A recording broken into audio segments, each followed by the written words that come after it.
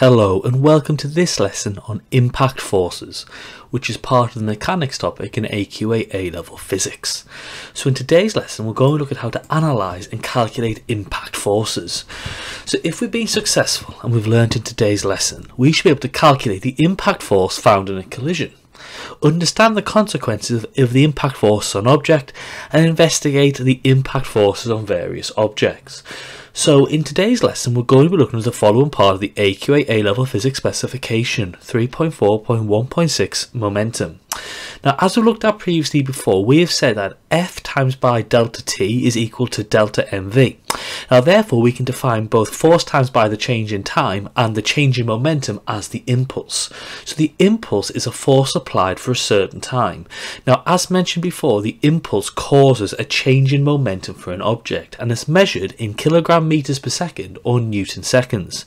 Now this impulse refers to one object in a collision or an interaction. Now the larger the impulse on an object the greater its change in momentum. So we can uh, define the impulse fundamentally as the product of the force and the time for which the force acts on the object. Now as mentioned previously we have discussed Newton's second law of motion for a constant mass which is that the force is directly proportional to the acceleration okay so therefore we can say F equals ma. Now we also know that acceleration is the change in velocity divided by the change in time so we can substitute that into the equation and say F equals m times by the change in velocity over the change in time. Now we know the change in momentum, delta p, is equal to delta mv. So therefore, if we said F equals delta mv over delta t, this tells us that the resultant force is equal to the rate of change of momentum. Now this is a really fundamental equation in physics because it can predict the motion of an object subjected to forces even when the mass changes with time. Now this statement also effectively defines what is meant by what was meant by a force in physics. It's an interaction that causes an object's momentum to change. So if an object object's momentum is changing, there must be a resultant force acting on it. Now we can find the size and the direction of the force by measuring the rate of change of an object's momentum. Now this can be used in many different situations. So for example, think about an object rebounding off a wall. We know that the force is equal to the change in momentum over the contact time with the wall. So we can therefore say F equals minus mv minus mu over t and that allows us to work out the force exerted on this object. Now note we've got a minus v because the, it's, it's in the opposite direction to the original velocity. Again, so we can then simplify this a bit further because if the collision was in fact elastic, that the momentum and the kinetic energy was conserved, this tells us that the values for V and U will be the same. So we can say that now minus V mv minus mu over T is therefore equal to minus 2mu over T. And that's actually a fundamental equation which you come across when we're looking at gas pressure. Now, as well as that, if the impact is oblique, then the horizontal components of that velocity must be considered. So therefore, if we have, in this example, as you can see here, the momentum is going to be m cos th uh, theta u initially, and then after it's rebounded, it's minus m cos theta v. Again, remember it's minus because it's in the opposite direction. So now this allows us to work out the force exerted to be minus m cos theta v minus m cos theta u all over t.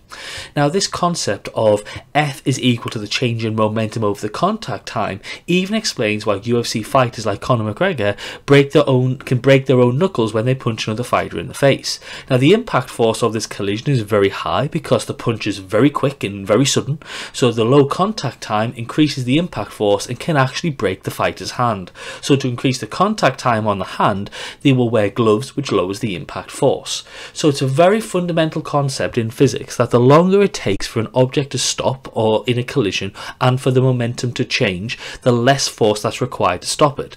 So when the impact time of a collision or event is large, the resultant force acting on the object is small. So if a speeding car crashes, then the time is very small, so therefore the impact force is huge, which can be very dangerous. Because as I've said before, the rate of change of momentum for an object is directly proportional to the impact force exerted on it. Which is Newton's second law of motion. So vehicles are designed to minimize the forces exerted on them during a collision with various different features, so things like seatbelts, airbags, and crumple zones. So it's why cars have crumple zones at the front and back, because these parts of the car are weak enough to crumple but strong enough to do so slowly. So this increases the time taken to change momentum, so it decreases the resultant force on the car. Now car passengers have similar protection because airbags and seatbelts help increase the time it takes for the passengers to stop. So as the time to change momentum for an object increases, the resultant force on that object decreases. In addition, seatbelts actually stretch slightly, increasing the time taken for the wearer to stop.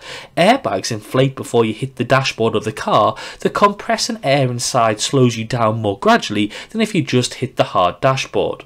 In addition, bike helmets contain a cushionable layer of foam which helps lengthen the time taken for your uh, your head to stop in a crash which reduces the impact on your brain. Now crash mats and cushion playground flooring increase the time taken for you to stop if you fall on them because they're made from soft compressionable materials.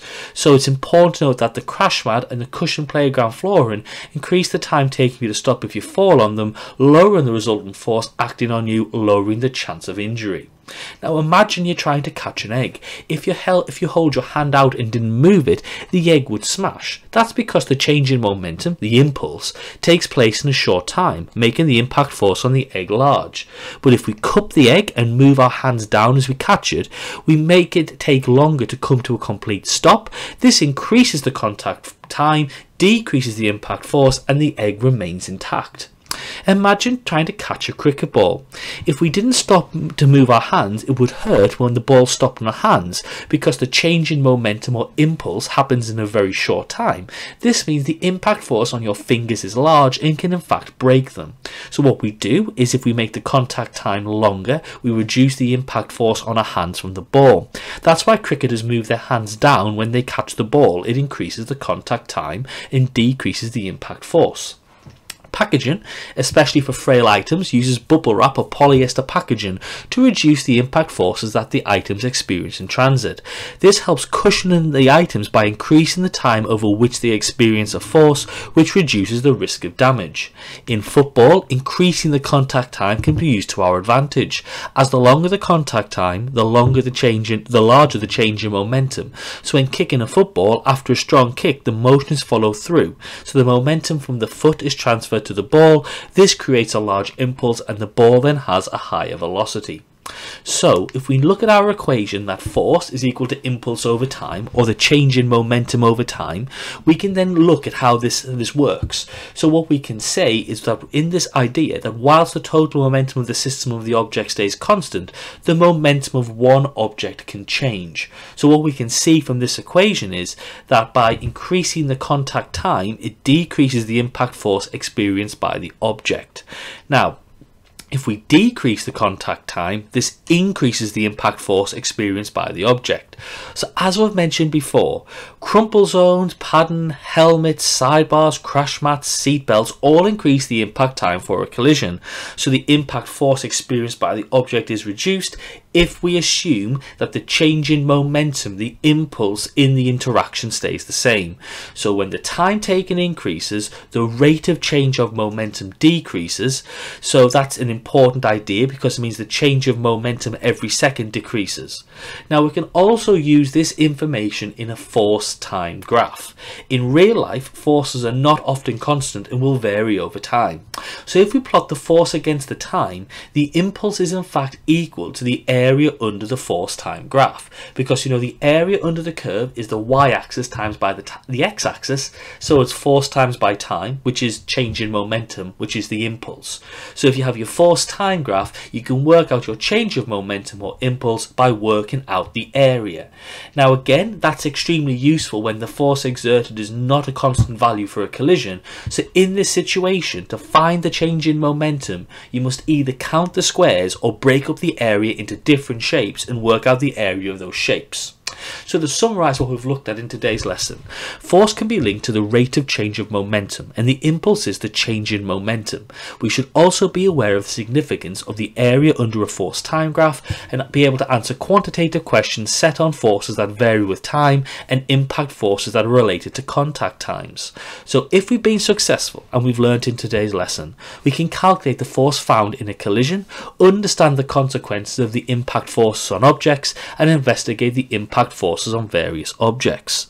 So thank you very much for watching this lesson on impact forces, which is part of the mechanics topic in AQA A-level physics. Thank you very much and have a lovely day.